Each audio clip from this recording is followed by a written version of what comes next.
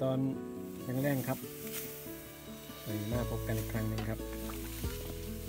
กับเกษตรอินทรีย์วิธีสามเรื่องราวพฤติกรรมการแลกเปลี่ยนเรียนรู้ การทำเกษตรอินทรีย์เพื่อความยั่งยืนวันนี้มาพบพอกันเป็นว่าดูเรื่องข้าวอีกครั้งหนึงครับพี่น้องหลังจากเมื่อวานนี้ได้พาพพี่น้องไปเบิ่งเขาระยะพับพึงครับ ของข้าวเหนียวหอมสกลเนาะวันนี้กับเลื่อยผ้าพี่น้องเอฟซีของเบากล่องเอ่อมาเบิงแปลงนา ข้าวไรซ์เบอร์รี่นะครับตัวนี้อ่เนื่องจากว่ากำลังถอดร่วงออกนะครับ ได้มาบ่หลาย เนื่องจากว่าเป็นที่ต้องการของตลาดพี่น้องเลยพาพี่น้องมาอ่าเบิง ข้าวที่เป็นรวงสีม่วงๆนะครับ เมล็ดสีม่วง แต่ว่าเพิ่งเพิ่งเพิ่งออกว่าท่านได้แก่เต็มที่เป็นเขาอายุสันคือกันกับเขาหอมสกลนะพี่น้องเขาอายุสันคือกันได้มาประมาณหาหกโลนะครับ ก็เลยเอามาเพาะกล้าต้นกล้าไว้แล้วก็มาปักดำเพื่อที่จะเห็ดเป็นเมล็ดพันธุ์ต่อเนื่องจากว่า เป็นที่ต้องการของผู้บริโภคนะครับเขาไรซ์เบอร์รี่เป็นเขาลูกผสมระหว่างดอกมะลิกับหอมนินนะครับ เคยเคยดำมาหลายปีแล้วล่ะพี่น้องแต่ว่า มันหายไปนะครับ เนื่องจากว่านี่คันเห็ดโดนๆไปมันจะแกมพี่น้องมันจะมีข้าวแกมขึ้นมา เนื่องจากว่าเป็นข้าวลูกผสมเนาะก็เลย มันหายไปก็เลยจะเอากลับขึ้นมาไว้เป็นในแปลงหน้าของอบาวกล่องคือเก่านะครับอ่าผู้บริโภคถามหา ลูกค้าถามหา ก็เลยกลับมาเฮ็ดเป็นเมล็ดพันธุ์เนื่องจากว่ามันหายไปจากแปลงหน้าบากล่องประมาณปีกว่า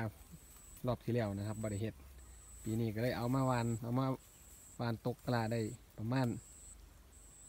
งานหนึ่งแหละพี่น้องเกือบงานหนึ่งนะครับก็จะเก็บเป็นเมล็ดพันธุ์นะครับ เก็บเป็นเมล็ดพันธุ์เพื่อที่จะปีต่อๆไปปีหนานี่เอามา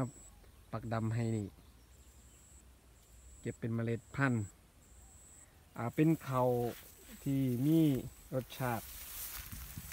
อร่อยนะครับเขาเมล็ดสีม่วง คุณค่าทั้งโภชนาการนี่สูงนะครับ โดยเฉพาะอย่างยิ่งลด คอเลสเตอรอลในเลือดนี่สินะเนาะลดคอเลสเตอรอลในเลือด บางบางบางช่อเพิ่นกับมีแกมมานำนี่ครับพี่น้องเนื่องจากว่าเขามาปักดำแล้วมันบ่ได้คัดคัดเลือกต้นกลีบก้าอืมบางช่อมันก็จะมีเขาแกมออกมาเขาก็จำเป็นต้องตัดถิ่มนะครับแบบนี้ตัดถิ่มเพราะว่าเขาจะเลือกเป็นเมล็ดพันธุ์ตัวนี้ก็อีกประมาณเดือนหนึ่งแหละพี่น้อง ประมาณเดือนหนึ่งก็น่าจะได้เก็บเกี่ยวก็จะเกี่ยวเอานะครับ เกี่ยวเอาบ่หลายนี่ครับพ่อได้เป็นเมล็ดพันธุ์เนื่องจากว่าไปได้มาน้ำจากคุณแม่แม่หักเป็นไหมากะเพิ่นไหมาซื้อๆแต่ว่าก็สิเอาเมล็ดพันธุ์ขึ้นเพิ่นอยู่ดอกนะครับเลยพาพี่น้องแรกนี่ก็เลยพาพี่น้องมาเบิงข้าวไรซ์เบอร์รี่ เป็นข้าวที่มีคุณค่าทางโภชนาการสูงนะครับเมล็ดจะสีม่วงแต่ว่าปีกกายนี่ยเบากองดำข้าวเหนียวข้าวเหนียวข้าวกำนะครับข้าวเหนียวข้าวกำกะพ่อได้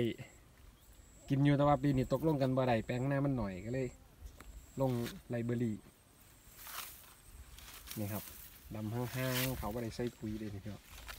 ดำเอาต้นพันธุ์มันซื้อ ๆดำเอาเมล็ดนะครับ เก็บเมล็ดกะคิดว่าน่าจะได้ยี่ดอกสอบหนึ่ง